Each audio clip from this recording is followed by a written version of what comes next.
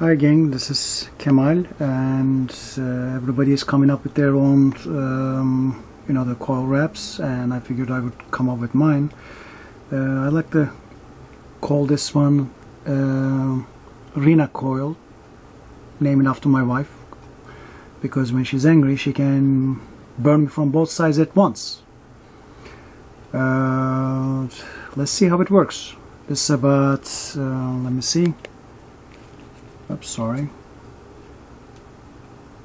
Uh, 0.68 ohm. Let's see how it works.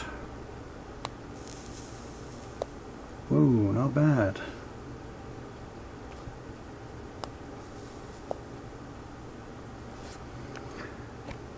Alright, and here you have it.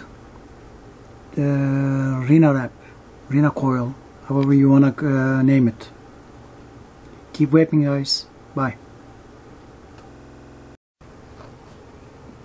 I just put the cottons in there. I left two sides empty and um, filled the middle because the middle wire gets too hot so I figured uh, it would help with the vaping. Seems like it's working pretty good.